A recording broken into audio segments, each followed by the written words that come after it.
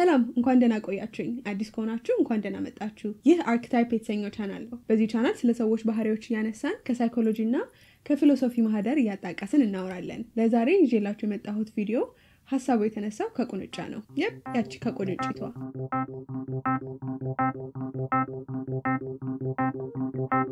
ቁንጫዎች በተፈጥሯቸው እስከ 20 ሴንቲሜትር ድረስ መዝለል ይችላሉ። ይህ ደግሞ የሰውነት ርዝመታቸውን ከመቶ እጥፍ በላይ ነው። የሆኑ ሰዎች የሆነ experiment አድርገውባቸው ነበር። of course ነው ሰዎች እንስሳ ላይ experiment ካላደረጉ what's the point ከዚህ ጥናት ላይ ተነስተው የሰሩትን የ PlayStation ማስታወቂያ እስኪ እንመልከት። ቁንጫዎችን ሰብስባችሁ በጠርሙስ ውስጥ ብታስቀምጧቸውና ብትከድኑባቸው ለተወሰነ ጊዜ ይዘላሉ። ጭንቅላታቸውን እስኪመታቸው ድረስ እስከ ላይኛው ጣራ ድረስ ይዘላሉ። ከትንሽ ሰዓታት በኋላ ግን እዛ ድረስ መዝለላቸውን ያቆማሉ።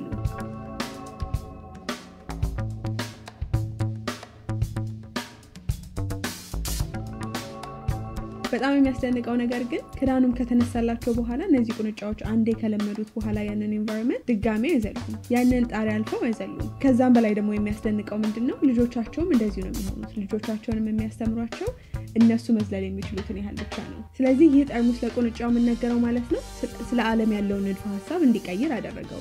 ስለዚህ ይህን ያህል ድረስ ብቻ ነው መዝለል የምችለው፣ ከዚህ በላይ ከዘለልኩኝ አናቴ ይቀወሳል የሚል ሀሳብ ይመጣለታል። ለልጆቹ ደግሞ ልጆቹ የሚማሩት ከወላጆቻቸው ነው እና ከወላጆቻቸው ሲማሩ አቅማቸው ያን ያህል ብቻ ነው የሚመስላቸው። ስለዚህ ከዚህ ተነስተው ንድፍ ያወጣሉ። ማድረግ ስለሚችሉት ነገር አካባቢያቸው ላይ እንዴት እንደሚንቀሳቀሱ ንድፍ ያወጣሉ። እኛም በሁሉም የህይወት ደረጃዎቻችን፣ በሁሉም የህይወት አስፔክቶቻችን ንድፈ ሀሳቦች አሉን አይደለ? ከባልደረቦቻችን ጋር ስላለን ግንኙነት፣ ስለ ባልደረባችን ራሱ፣ ስለ ጓደኞቻችን ራሱ፣ ስለ ስራ ቦታችን፣ እኛ ስለምንሰራው ስራ፣ ስለ እኛ አቅም፣ ስለ ቤተሰቦቻችን ጥሩት፣ ስሙን ጥሩት፣ የፈለጋችሁ ነገር ስሙን ጥሩት።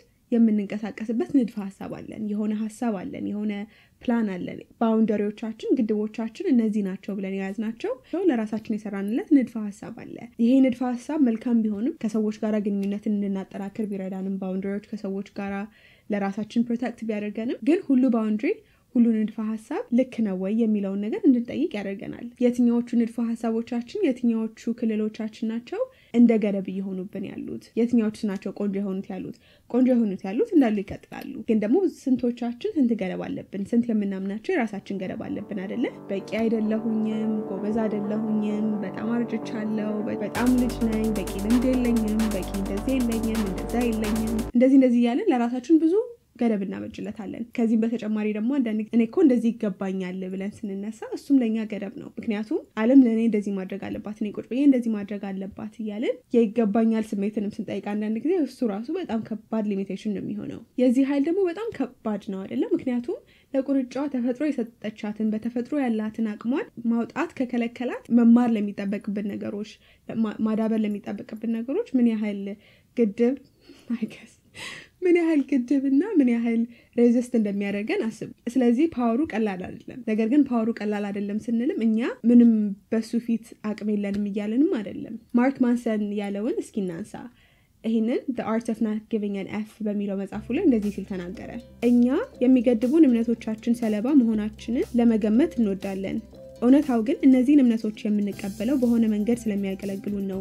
ራሳችንን ከትግልና ከውድቀት ለመጠበቅ እንዲሁም ለተመሳሳይ ምክንያቶች የሚገድቡንን እምነቶች አሜን ብለን እንቀበላለን። እንዲሁም ልዩ ትኩረት እንዲሰጠን ራሳችንንም ለማጽደቅ ስለሚመቸን እነዚህን እምነቶች ብዙ ጊዜ እንይዛለን። እምነቶች የሚጣበቁብን በሆነ መንገድ ስለሚያገለግሉን ብቻ ነው። እምነቶ እንዴት እንደሚያገለግሉት ይወቁና በእርግጥ የሚያስቆጭ እንደሆነ ወይንስ ደግሞ የእውነት ጠቃሚ እንደሆነ ራሱን በትክክል ይጠይቁ።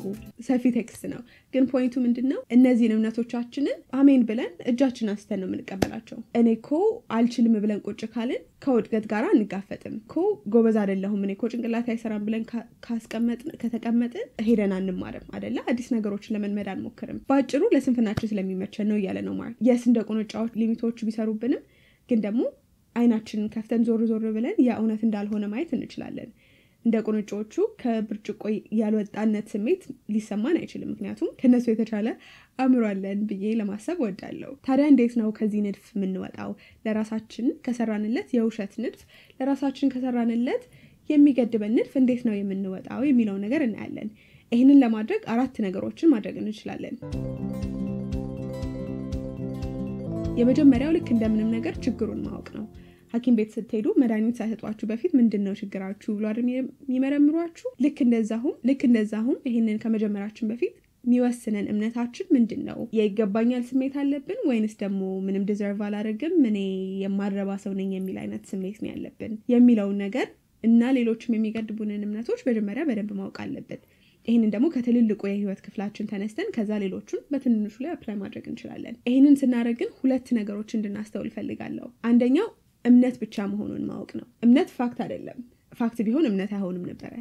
ስለዚህ አንደኛ እምነት መሆኑን ማወቅ አለብን። ከዛ በተጨማሪ ደግሞ የሚቻል ከሆነ ያ እምነት ከየት እንደተነሳ ማወቅ በጣም ይጠቅማል።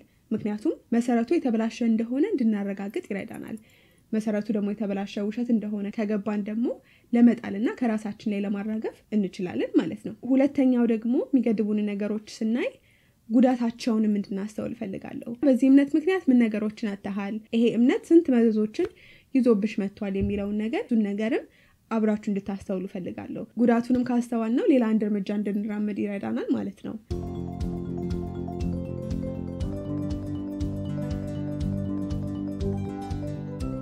ሁለተኛው ደግሞ ኃላፊነትን መውሰድ ነው። ኃላፊነቱን ግን ካልወሰድን እነዚህን ገደቦች ማስቆም አንችልም አይደለ? እነዚህን ገደቦች መስበር አንችልም። ችግሩን ኃላፊነቱን ለሌላ ሰው እየሰጠን ነው። ስለዚህ ያለምን action እንወስዳለን። እድለኛ ሳንሆን ቀርተን አሁን ለምሳሌ የቁንጫዎቹ ልጆች ሆነን ሊሆን ይችላል። እኛ ራሳችን ላይ ላይሆን ይችላል እነዛ limit ኦች ያስቀመጥነው እና ደግሞ እኛም ደግሞ አካባቢ እኮ እንደዚህ ነው፣ ስለዚህ እኔም እንደዚህ ነኝ የምንል ከሆነ well እንግዲህ ታዲያ I mean መውጣት ትችላለህ ከዛ አካባቢ ወይ ደግሞ አንተ ለምታደርጋቸው ነገሮች አንተ ለምታደርገው አክሽኖች responsibility ን መውሰድ ትችላለህ። እንደገና ደግሞ በተለይ ደግሞ entitlement space ደግሞ ካለን ወይንም ደግሞ የይገባኛል ስሜት ደግሞ ካለን ቁጭ ነው የምንለው። እሱማ እንደውም የባሰበት ነው አይደለም። ምክንያቱም እኔ ቁጭ ብዬ ሰው እንደዚህ ሊያደርግልኝ ይገባል፣ እንደዚህ ይገባኛል፣ እንደዛ ይገባኛል ስንል እኛ አንዳችም ነገር ግን ሳናደርግ ሰዎች እንዲያደርጉልን፣ ሁኔታዎች እንዲያደርጉልን እንጠብቃለን። ነገሮች እኛ ላይ happen እያደረጉ እኛ ምንም control የለንም ማለት አይደለም። በቃ ዓለም ብቻ እኛ ላይ እያደረገች የእኛ ባህሪ ምንም important እንዳልሆነ ማስመሰል ማቆም መቻል አለብን። ምክንያቱም እኛ የምናደርገውን ነገር ነው እኛ act ከምናደርገው ነገር ነው ዓለምም respond የሚያደርገው ሰዎችም respond የሚያደርጉት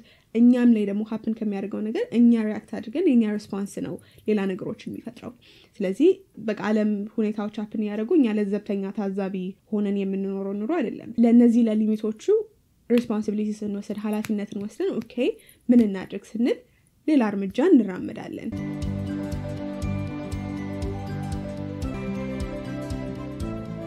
ሶስተኛው ደግሞ እርግጠኝነትን መልቀቅ ነው። እርግጠኝነት የእድገት ጠላት ነው። አንደኛ ዋና ጠላቱ ነው። እንደገና ደግሞ ለነዚህ ለሚገድቡን አስተሳሰቦች ደግሞ best friend ኡ ነው። ሰዎች ነንና እርግጠኝነት በጣም እንፈልጋለን እና እኔ እንደማየው ሁለት side አለው። በአንድ በኩል already ስለምናውቃቸው stable ስለሆኑ ጠንካራ በሆኑ ነገሮች ላይ እነሱን ይዘን አንለቅም እንላለን። በአንደኛው side ስራችን ሊሆን ይችላል፣ የለመድነው relationship ሊሆን ይችላል። እነሱን ይዘን አንለቅም እንላለን። በሌላ በኩል ደግሞ እርግጠኝነት የሌለባቸው ነገሮች ላይ ዝም ብለን እርግጠኝነት እንለጥፋለን። የእኔ ህይወት ከዚህ መቼም አይሻሻልም፣ እኔ ከዚህ በላይ ምንም መስራት አልችልም፣ relationship ኤ ከዚህ በላይ flourish ሊሆን አይችልም፣ ከዚህ በላይ ሊያብብ አይችልም፣ ይሄን ያህል ነው የምችለው እያለን በቃ ግምግም አድርገን እርግጠኛ ሆነን እርግጠኝነት የሌለበት ነገር ላይ በእርግጠኝነት ለመያዝ እንሞክራለን። እና ደግሞ እንደምታዩት ይሄ በጣም ህልማችንን ገዳይ ሊሆን ይችላል አይደለ? ምክንያቱም relationship ማበብ አይችልም የምንል ከሆነ ግንኙነቶቻችን ላይ አንሰራም፣ እንዲያድጉ አንፈተፍታቸውም። እንደገና ደግሞ ስራችንን እየጠላነው የቤት ግን ይከፍላል ብለን ለሌላ ስራ apply ለማድረግ ስራ ለመቀየር አለመሞከር ግን እሱም ደግሞ የምንወደውን ነገር እንዳናደርግ ይከለክለናል አይደለ? ስለዚህ እርግጠኝነት በጣም ህልማችን የሚገለው። አንድ ቆንጆ exercise አለ ይሄንን ነገር ከዚህ ነገር እንድንወጣ የሚያገለግለን የሚወዛወዘው ወንበር ጥያቄ ይባላል። ያው በብዛት ሽማግሌዎች፣ አሮጊቶች የሚወዛወዘው ወንበር ላይ ይቀመጡ አይደለ? እስኪ ራሳችሁን ሽማግሌና አሮጊት ሆናችሁ እዛ ወንበር ላይ ቁጭ ብላችሁ አስቡት። የሚጸጽታችሁ ነገር ምን ይመስላችኋል? እዛ ወንበር ላይ ስትቀመጡ እድሜያችሁን ጨርሳችሁ ቁጭ ብላችሁ ህይወታችሁን ወደኋላ ስትመለከቱ የሚጸጽታችሁ ነገር የሚመስላችሁ ምንድን ነው? ይሄንን ጥያቄ ራሳችሁን ጠይቁትና መልሱን ታገኛላችሁ። ከዛ እውነት ይሄ ገደብ ከዛ ጸጸት ይበልጣል የሚለውንም ደግሞ እናንተ ማወዳደር ትችላላችሁ ማለት ነው።